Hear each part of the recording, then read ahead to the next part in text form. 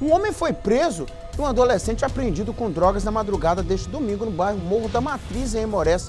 Os militares receberam denúncias sobre um intenso tráfico de drogas e que possivelmente uma mulher estaria sendo estuprada em uma casa. E no local não foi constatada situação de estupro. Os militares realizaram buscas pelo imóvel e encontraram uma submetralhadora de fabricação grosseira, dizem caseira, né? Três carregadores de arma de fogo, 52 pedras de crack, celular e dinheiro. O material foi encaminhado pela delegacia de governador Valadares. Esse trem aí, Jarão, que já foi um portão aí, ó. Isso aí, ó. E mata de tétano também, sabe? Se não tiver. Lá, se não tiver o, o, o, cartucho, né? Se não tiver lá a munição, pode chuchar lá na pessoa que mata de tétano também, lá. Como é que monta esse trem, Jarão? Esse negócio. Olha lá que.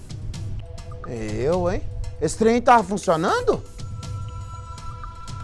Cruz credo, o Jarão falou uma verdade. Melhor não arriscar não. Ele já falou, troca de câmera e vai embora, meu filho. Larga isso pra lá. É isso que eu vou fazer aqui, Jarão.